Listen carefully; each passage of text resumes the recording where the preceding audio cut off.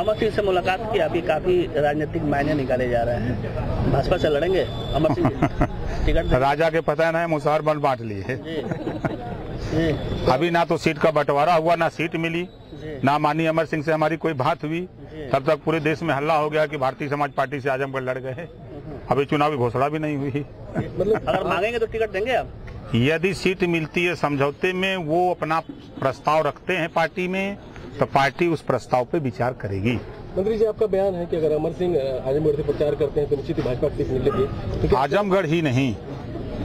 अगर वो अपने तंत्र का इस्तेमाल प्रदेश में करें तो पूरे प्रदेश में लाभ वो दिला सकते हैं। कौन सा जी कौन इससे सा तंत्र है? मंत्री बहुत तंत्र है उनके पास।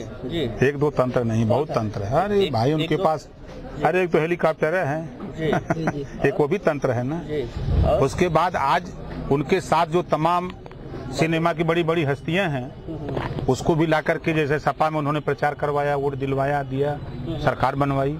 एक इतिहास है ना। एक ताकत तो है, कोई दिक्कत नहीं।